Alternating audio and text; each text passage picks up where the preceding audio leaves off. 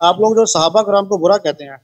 जी। लेकिन अगर ये सोचें कि वो लोग इतने बुरे थे उन्होंने कुरान पाक में कोई हर बराबर भी कोई तब्दीली नहीं की। अगर वो बुरे होते तो अपने दौरे हुकूमत में कर सकते थे या नहीं? देखे ना एक सवाल पैदा होता है ना माइंड क्या सवाल है? अगर वो बुरे थे तो उनको दौरे हुकूमत मिला जिनको आप लोग बुरा भला कहते हैं। तो कुरान पाक में तो कोई हरा बहरा कोई ऐसी कोई गलती नहीं कोई क्योंकि जो चोरी करते थे उनके हाथ भी कटे। जक़ात भी लोगों ने दी। हर तरह के मामला ठीक गुजरे। जब उनके दौरे हुकूमत में रसूल खुदा सल्लल्लाहु अलैहि वसल्लम की जो शरीयत थी उसमें उन्होंने कोई चेंजिंग नहीं की। सब तो चेंज कैसे बुरा कह सकते हैं? ठीक है सर। और, और, दूसरा सवाल मेरा ये था इसी के अंदर इसी हवाले से ही कि देखें अगर तो काफर तो नबी पासम ने भी कभी नहीं कहा उनको। ठीक है? अगर काफर थे तो अल्लाह को मालूम है इस बारे में। हमें तो नहीं मालूम। हमने देखा नहीं ना आप लोगों ने कभी देखा उनकी ज़िंदगी? और अगर अल्लाह की नज़र में काफर ना हुए और अगर हमने उनको अपनी ज़िंदगी में काफर कहने लगे तो क्या सर एक हदीस में हम काफिर ना हो जाएँगे? एक हदीस में आता है ना क्या देखें आप देखें रसूलुल्लाह सल्लल्लाहु अलैहि वसल्लम के अहादीस में देखें हमारे कुतुब में ये तो बहुत ज़्यादा है। देखें आप लोगों की जो अहादीस हैं ये दरबार की जमशुदा अहादीस हैं ठीक है ना?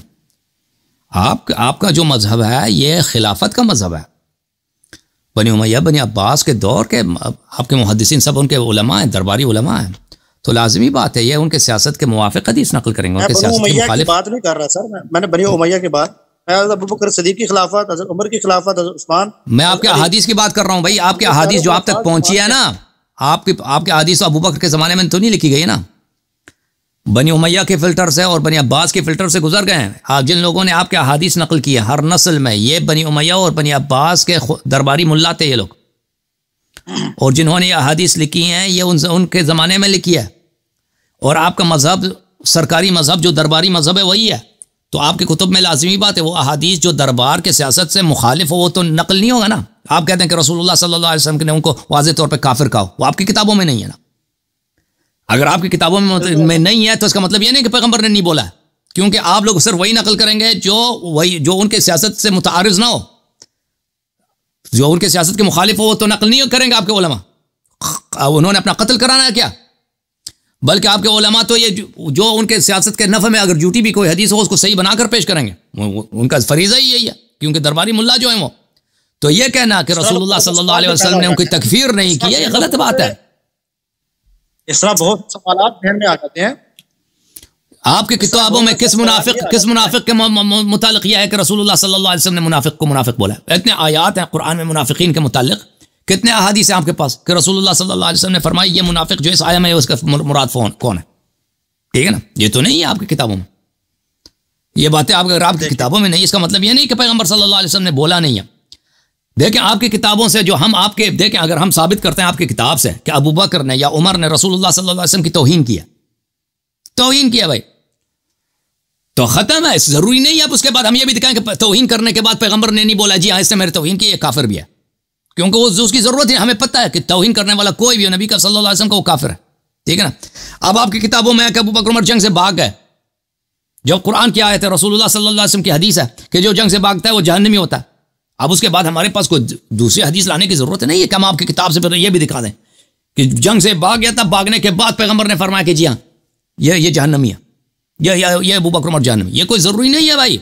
अगर होता भी आप लोग नकल नहीं करते। लेकिन हमारे किताबों में ये मौजूद है, ये चीज़ें। क्योंकि हमने अहलबैत अलैहिस्सलाम से हदीस नहीं, दरबार से नहीं लिया। तो हमारे पास हदीस बहुत ज़्यादा है शेखैन के मुतल ठीक है? और फिर आपका ये कहना कि नो, इनकी खिलाफत बहुत अच्छी थी यह भी आपकी गलत फहमी है। इन्होंने शरीयत के तमाम अहकाम चेंज कर दिए।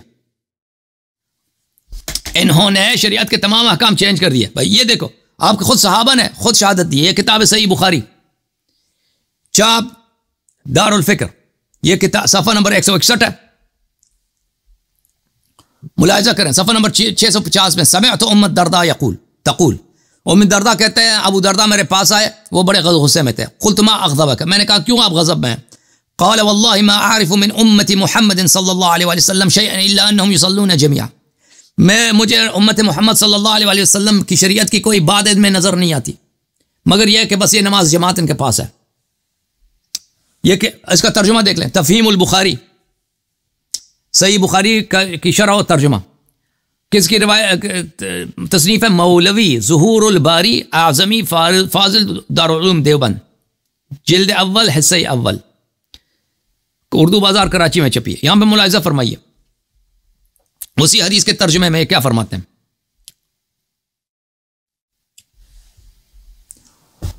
अच्छा मैं इसको फुल पेज कर देता हूँ एक मिनट के लिए ठीक है? उम दरदा उम दरदा से सुना। उम दरदा क्या कहती हैं? आपने फरमाया कि एक दफ मरतबा अबू दरदा आए बड़े गजबनाक हो रहे थे। मैंने पूछा, क्या बात हुई? फरमाया, मोहम्मद सल्लल्लाहु अलैहि वसल्लम की शरीयत की कोई बात अब नहीं पाता, सिवा इसके कि जमात के साथ नमाज़ पढ़ लेते हैं। ठीक है ना? हाँ भाई, सब इन्होंने चेंज किया नहीं किया? चेंज किया नहीं किया? अच्छा आप चलते हैं। ये सही बुखारी, तर्जमा और शरह के साथ। नौमानी किताब खाना में छपिया अल्लामा वहीद जमा साहब का तर्जमा और शरह। अबू दरदा मेरे पास आए, वो बड़े गुस्से में थे, मैंने पूछा, क्यों गुस्से में? उन्होंने कहा, खुदा की कसम, में देखता हूँ हज़रत सल्लल्लाहु अलैहि वसल्लम के वक्त का कोई काम बाकी नहीं रहा। बस ये रह गया कि लोग मिलकर नमाज़ पढ़ लेते हैं। लोग मिलकर क्या करते हैं? नमाज़ पढ़ लेते हैं। यह सही बुखारी है। हाफिज हम्माद साहब के तर्जुमे के साथ जिल नंबर पाँच, सफ़ा नंबर है पैंसठ।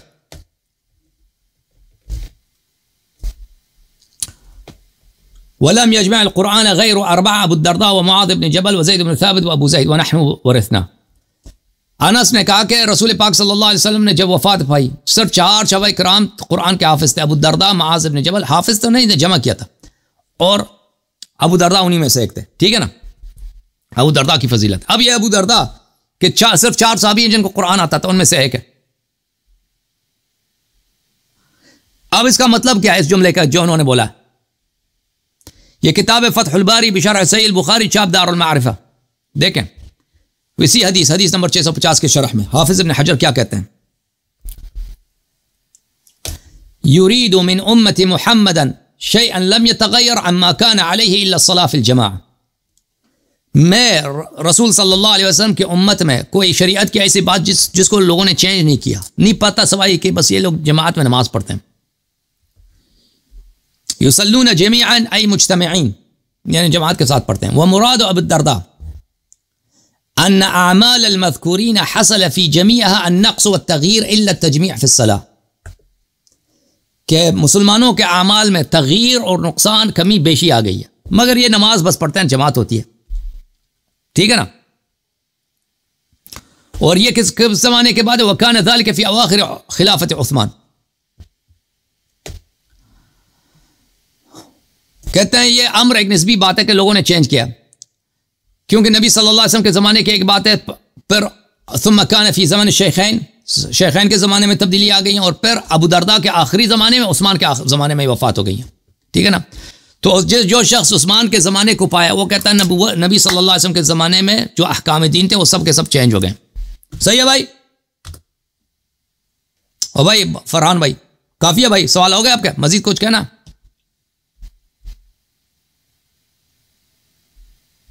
अब ये सवाल पे आपकी बात से पैदा हो गया, जो मैंने आपसे पहले किया। कि आपने ये हवाला तो दिया और आपने माना, और आप मुझे भी मनवाने की कोशिश तो की आपने, माशाल्लाह। आप कह रहे हैं जी, ये किताब में है जी, वो फलां हो, और नमाज़ का तरीका नमाज़ के अलावा अब ये वही सब हैं, ये वही हवाला जात हैं, जो अपने बोला कि फैक्ट्रियाँ लगती मुलाजिम की जो थी वो फैक्ट्री थी ना, उनके खिलाफ बोल सर तो इसके मैं इस पे हदीस तो पे क्या करूँ? क्या मतलब इसका नमाज़ क्या मतलब? उन्होंने कहा कि शरीयत के तमाम अहकाम चेंज कर दिए हैं बस ये लोग नमाज़ जमात होती है इनकी। नहीं फरमाया कि नमाज़ सही है। नहीं फरमाया कि नमाज़ को चेंज नहीं किया। बस नमाज़ जमात पढ़ते हैं। बस यानी यानी ये सिर्फ़ नाम के मुसलमान हैं बाकी इनके सब अहकाम चेंज कर दिए हैं। और चेंज कौन करता है भाई? चेंज आम मुसलमान नहीं करते थे चेंज खुलफा करते थे। जो हाकिम वक्त है वही अहकाम में चेंज ला सकता है। बाकी लोगों को इतनी ज़रूरत तो नहीं है। अब वो ही की बात कर रहा है उस्मान की बात करके इन्होंने तमाम अहकाम चेंज किए। हम्म चेंज किए। अब आप कहते हैं ना कि ये गलत हदीस है। आप लोगों का इजमा है कि हदीस सही है। या आप लोग और ये अहलबैतम के फरमान के मुताबिक है। और रसूल सल्लल्लाहु अलैहि वसल्लम की सुन्नत खतिया के मुताबिक है कि पैगंबर सल्लल्लाहु अलैहि वसल्लम ने फरमाया कि मेरे बाद दो चीज़ों की इतबा करोगे कभी गुमराह ना हो जाओगे कुरान और अहलबैत साहबा ने कुरान अहलबैत को छोड़ा तो सब चीज़ों में गुमराह हो गए ना। सब अहकाम दीन चेंज कर दिए इन्होंने